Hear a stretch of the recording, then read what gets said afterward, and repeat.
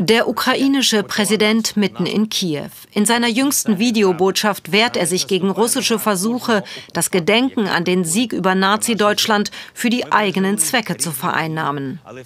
Wir werden niemandem ein einziges Stück unserer Geschichte überlassen. Wir sind stolz auf unsere Vorfahren, die gemeinsam mit anderen Nationen in der Anti-Hitler-Koalition den Nationalsozialismus besiegt haben. Und wir werden niemandem erlauben, sich diesen Sieg anzueignen.